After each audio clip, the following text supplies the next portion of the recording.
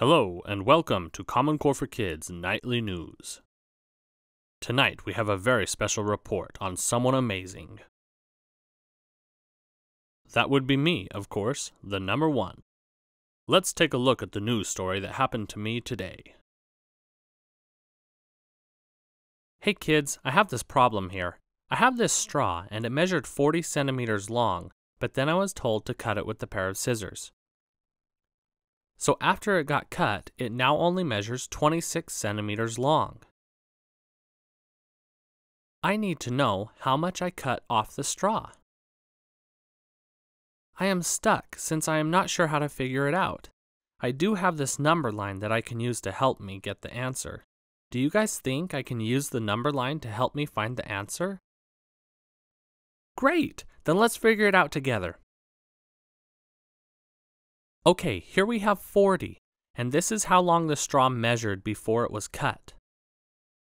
Here we see 26, which is how long the straw is after it was cut.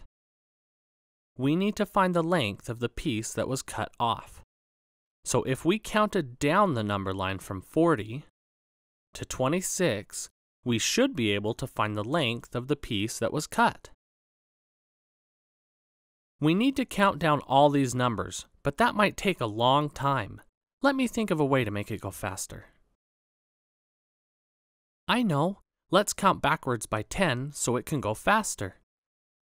Let's start at 40 and count back 10. When we count back 10, we get to 30. Let's count back 10 again. Oops, we hit 20. That's too far back. So let's go back to 30 and start counting back by ones. We start at 30 and start counting back 29, 28, 27, 26. Great job! We got to 26. Now we need to count the jumps that we made. There's 10, 11, 12, 13, 14. So the answer is 14 centimeters. The piece of straw that was cut is 14 centimeters long. Great job, guys! Now, if we were to look at this problem and write an equation from this, we could solve it without a number line.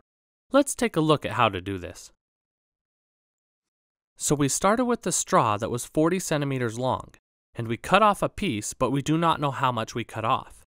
We do know that we were left with the straw that measured 26 centimeters. You can see here that we have formed an equation by reviewing this problem. We started with 40, as you see here, and we cut off or subtracted an amount, and we are left with 26 centimeters.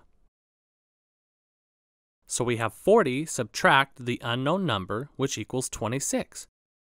Great job so far, but we are not done yet.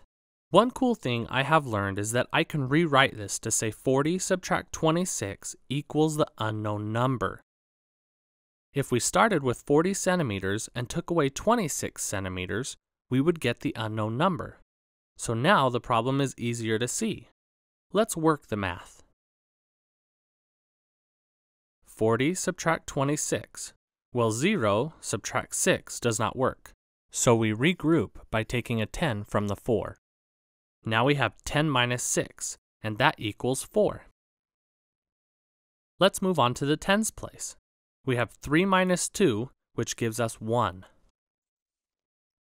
We can now see the answer is 14, just like we figured out with the number line. Now this seemed a little harder, but with practice, I know we will get it. Thanks for learning with me, guys. We will talk to you later. Goodbye. Thank you for watching. Please share the video and subscribe.